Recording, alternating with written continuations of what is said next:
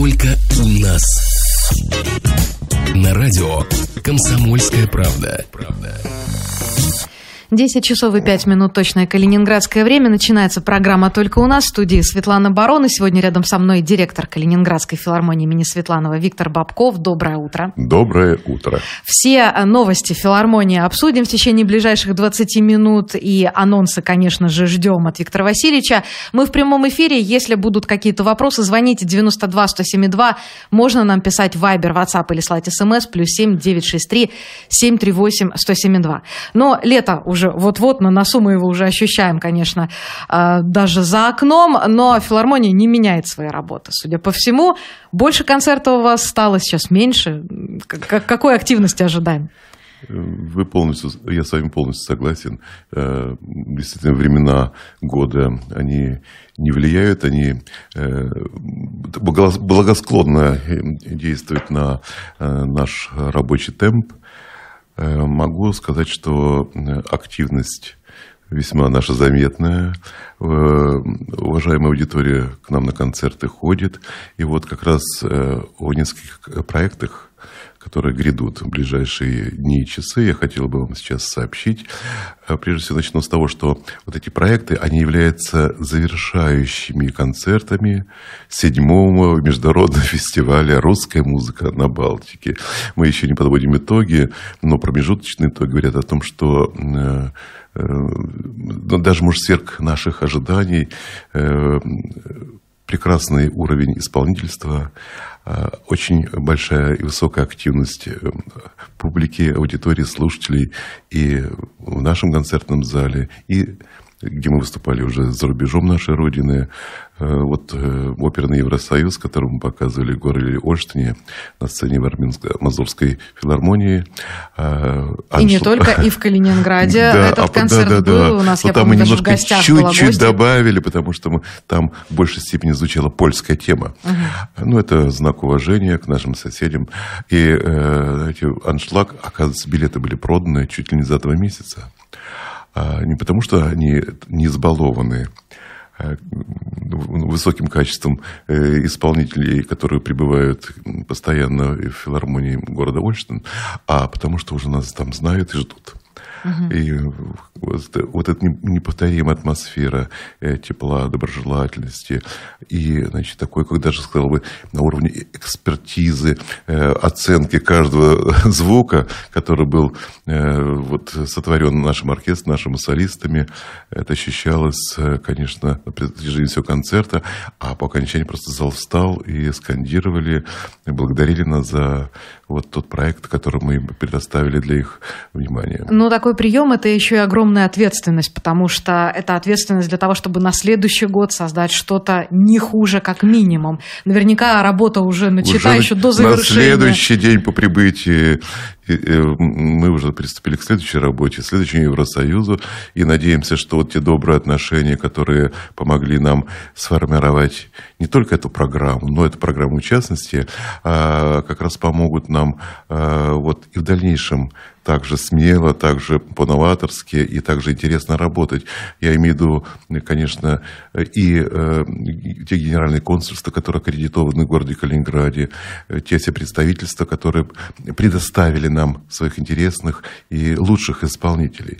А теперь возвращаюсь, если позволите, кто что нас ожидает. Конечно Я... же, мы всегда готовимся к выходным заранее. Каждый человек, который хочет хорошо провести выходные, особенно вечера, он должен подумать об этом пораньше. И вот у нас уже в эту субботу и воскресенье, я думаю, что филармония что-то подготовила интересное для нас. Э, ну, прежде всего, я уже э, сказала то, что это завершение фестиваля. А, и какое завершение? А, и здесь есть тоже некоторые вывески эпиграф, а, потому что это а, проект, который проходит при поддержке Национального фонда поддержки правообладателей. Это 2 июня, где будет у нас такое интереснейшее сочетание органа и арфы. Угу. У органа хирока иное, иное, это наша любимая и уже прекрасно зарекомендовавшая исполнительница на органе. И будет еще арфа. Александр Балдачев. Здесь я э, себе позволю несколько слов сказать, потому что он впервые в Калининграде, молодой исполнитель, как правило, знаете, так сложилось, что это такая женская монополия на... На арфе всегда играют девушки, да? Как правило, причине. да. Как правило, я не знаю, чем объяснить, потому что и физически это не так просто. Все там же они играют не только руками, но и ногами, там тоже есть педали. Mm-hmm. Вот. И эту арфу еще нужно э, оберегать и носить. Об этом мало кто знает. Внешне это выглядит очень утонченно это и очень миру женственно. слезы. И хорошо, что публика не догадывается о том, что этот труд нелегкий во всех отношениях. Но если говорить вот о творческом наполнении звучания и представлении этого инструмента, то вот здесь как раз мужчина будет. Александр Балдачев. И, вы знаете, рамки нашей программы не позволяют, к сожалению, перечислить все те лауреатские звания, mm-hmm. те конкурсы, где он явился победителем, тех исполнителей, с которыми он сотрудничал и сотрудничает. Но то, что это выдающийся Э, исполнитель мирового уровня, потому что э, он выступал и в Австрии, и в Великобритании, и там, значит, вся география, которая вот существует, наверное, можно перечислить. Перечислить, простите. И э, поэтому это вот будут два выдающихся музыканта на сцене филармонии. А что будет звучать? Будет звучать музыка и от Георга Фридриха, Фридриха Генделя, потому что это классика, это академия, до современных каких-то очень интересных интерпретаций, э, потому что вот Балдачев, он постоянно в таком пребывает поиске, потому что э, есть уже, ну, 21 век, и какие-то современные технологии внедряет, звучание арфы и в аранжировке этих всех произведений, может, которые уже, ну, привычно для нас, но будет вот, вот такой, значит, э, более свежим преподношении э, вот, исполняться. Угу. Поэтому это, я думаю, очень интересный проект, который привлечет внимание не только значит, таких завзятых меломанов, но и тех, кто интересуется, э, что вообще происходит в современной музыке, как и арфа и орган. Знаете, у нас что-то я не помню, чтобы это было часто применялось вообще в исполнительской практике. Ну, орган для нас, для калининградцев, это действительно важный инструмент, мы все любим послушать. Вот арфа, она, может быть, сейчас модным становится инструментом? Да, вы Для дали очень точную, точную э, характеристику органу королевы инструментов. Это э, огромное количество тембров, мощный или, наоборот, очень тонкий бывает, передающий самые сокровенные э, вот, замыслы композитора. Но э, арфа, вот знаете, это уникальный инструмент, который имеет многовековую историю. Он используется во многих вот, сочинениях композиторов, как очень эффектная краска, обогащающая тембра, э, тембральное звучание оркестра. И э, это может быть, знаете, э, царевна-лебедь, у римского угу. Корсакова.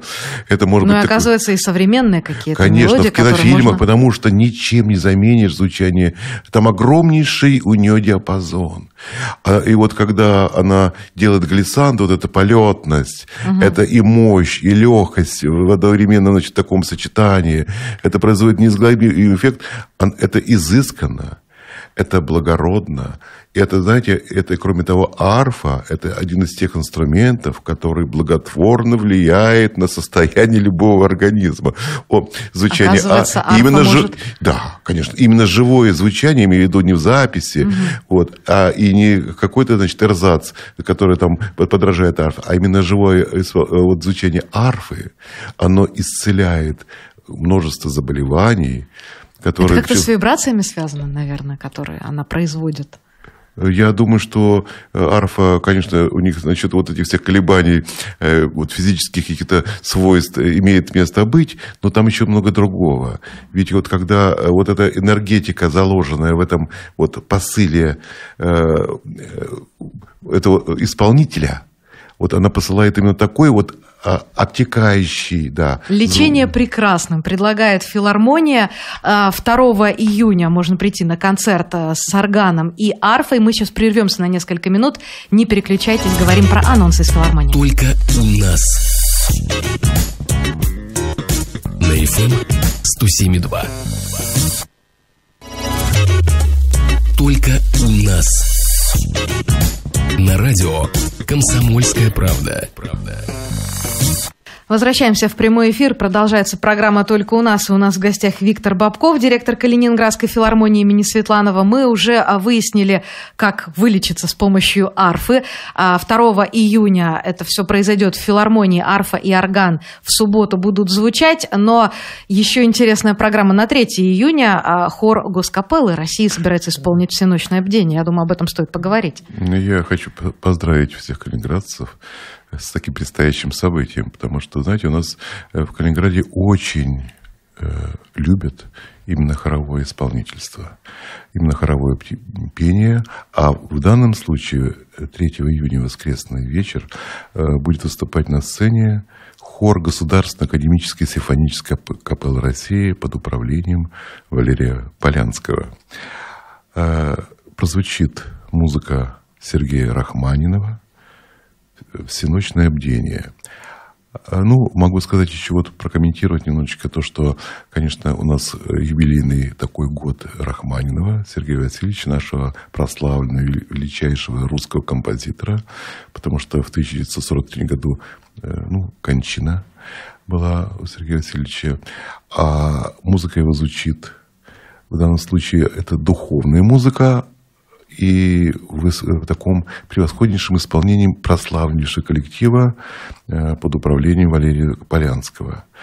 А, что касается э, вот этой капеллы, конечно, тут э, не нуждается в каких-то особенных рекомендациях, потому что это один из лучших коллективов не только России, с огромнейшим опытом, с э, богатым таким списком э, гастрольных поездок и выступлений на самых престижных концертных площадках.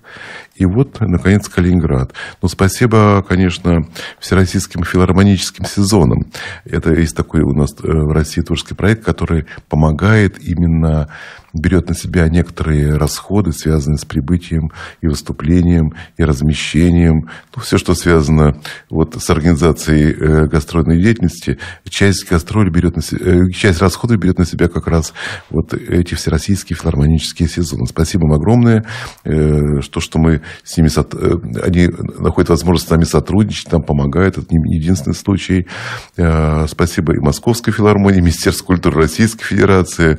Э, просто я говорю, сейчас от, перечисляю далеко, может быть, не всех, пускай на меня не обижается, но дело в том, что вот только благодаря вот таким тесным контактам доброжелательности со стороны этих учреждений происходит то, что у нас есть возможность насладиться таким высочайшим искусством, э, такой, такими прекрасными коллективами и такими великолепными э, программами.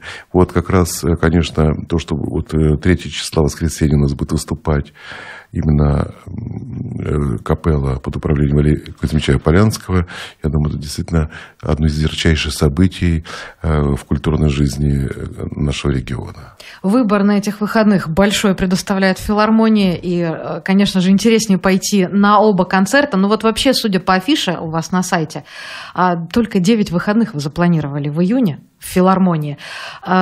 Июнь, я так понимаю, особенно горячий из-за того, что у нас ведь и туристы приедут, и футбольные болельщики. Что бы вы порекомендовали посетить и калининградцам, и а, приезжим, которые приедут в Калининград, а, в филармонии вот в июне? Вы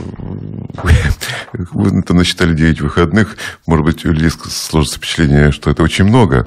Э, нет, имеется в виду, что просто... потому что ведь да. А, вы не только по выходным работаете, которые для нас привычны выходные, Конечно, суббота и воскресенье, да. Как раз выходные у нас самая большая нагрузка, но еще, э, видимо, вы не посмотрели, потому что у нас же э, наши коллективы, наши артисты выступают не только на сцене филармонии, у нас еще очень много проектов выездных. Мы работаем и с детской аудиторией. А, кстати, собираетесь э, где-то в июне выступать на конечно, открытом воздухе? Конечно, Где конечно, можно конечно, будет конечно. Ой, вы знаете, дело в том, что сейчас я вот э, не готов сказать, mm потому что у нас есть и детские сады, и школы, и, и э, пришкольные лагеря, и, их такое большое множество этих концертов. Вот, поэтому э, вот э, здесь цифры я хотел бы уточнить. Наверное, все-таки выходных у нас нет, и это вполне это уже привычная ситуация, потому что мы видим свое предназначение именно в таком таким благородном и, и в хорошем, высоком смысле жертвенном служении высокому искусству. Поэтому здесь никакой нет такой вот уныния есть. Но вы спросили, что может быть предложить нашим гостям. Конечно, это экскурсии к органу.